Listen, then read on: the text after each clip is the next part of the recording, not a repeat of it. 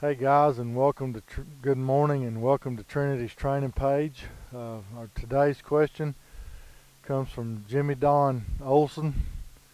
Uh, Jimmy Don's question was uh, about water temperature. Okay, when is it too cold to put uh, dogs in the water? Uh, Jimmy, that's a uh, that question has a lot of answers. Okay, but I'm really good friends with a, a gentleman that lives up uh, up north, and he told me one time. He said, uh, you know, I, he comes to Texas every winter to train dogs, and uh, he said the water's below about 52 degrees, he don't want to put his dogs in there. And I'm talking about dogs that are, you know, field champions and expiring field champions.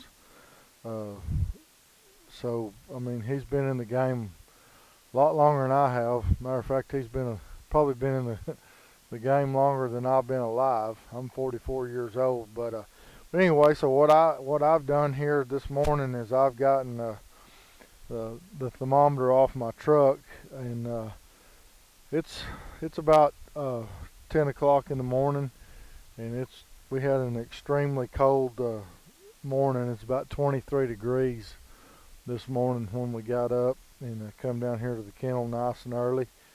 Uh, let the dogs off the truck. We had them spend the night on the truck last night because it was so cold, um, as we do anytime it's cold. But uh, uh, that being said, it was 23 this morning when we got up, and uh, right now it's uh, the thermometer was on the truck. It's showing 52 degrees. Um, so I'm gonna I'm gonna drop this in the water here. This is just a pool thermometer like you'd buy it like Lowe's or Home Depot or at your local pool pool su supply store. Now keep in mind, I'm gonna give this a couple minutes here to to uh, reach its temperature. It takes you know two or three minutes for it to cool down, but this is our swim by pond here. Um, it's really shallow on both ends. It's kind of shaped, uh, you know, it slopes in both ways but it drops off about 60 degrees on each side so it gets deep pretty quick. I'm right up here about oh I'd say probably just 10 or 15 feet. I'm down just about to where it drops off and starts leveling out. It's about 12 foot deep right here. Anytime I'm gonna get dogs out and it's been cold like this um, I want to check the water temperature. Um, I want to I personally if he thinks 52 is warm enough uh, I want it to be around, you know, 54, 55. Uh, at about the depth of the belly on the dog when they're swimming. Of course, they're going to stir up cold water as they're swimming, but uh, one of the important things that you can do for your dog is you can always have a thermometer on your truck to check your water temperature. The next thing is you can keep you uh, some towels. I like to use a chamois uh, I got one years ago at a Danny Farmer seminar, and man, I've just about worn that thing out. But we use it all the time when you've got dogs that have been in the water. Uh, the, the third thing you can do is have some tie-out chains where you can put your dog on a tie-out chain. After you've dried them off, you can tie them out to your truck or to a tie-out stake or whatever on the ground. And if I'd have thought about it, I'd have brought one of those and showed you. But um, anyway, um, that that gives them an opportunity to get to get dried off out of the box to where they're not just sitting there in that box on you know with that cold water and stuff in their coat.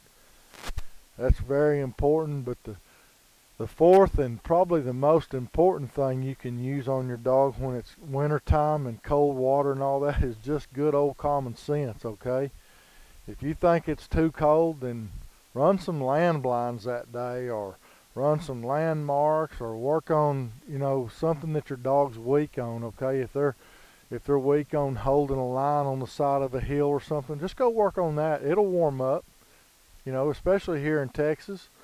It'll warm up here. You know you may have a a week or two that it's kind of crappy weather and it's cold and wet and it's real humid and all.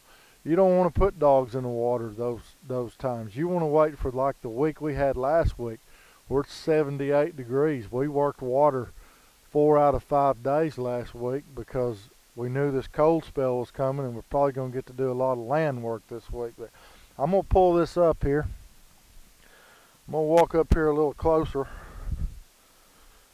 And this water here, I, I don't know if Nick will be able to see this or not, but uh, I don't know what that glass will do on there. But uh, that's been in the water for about two or three minutes. You see it, Nikki?